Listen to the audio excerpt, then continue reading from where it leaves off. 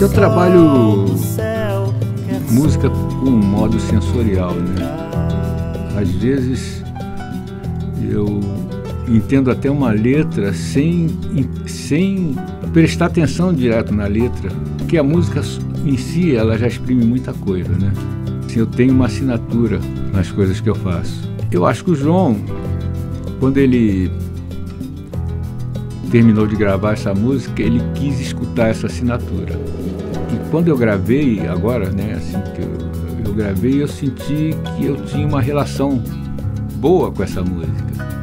E essa relação não é uma relação intelectual, ela é completamente sensorial. É uma coisa de, de escutar a música, entrar dentro dela. Eu passei a música uma vez e na segunda passada eu gravei.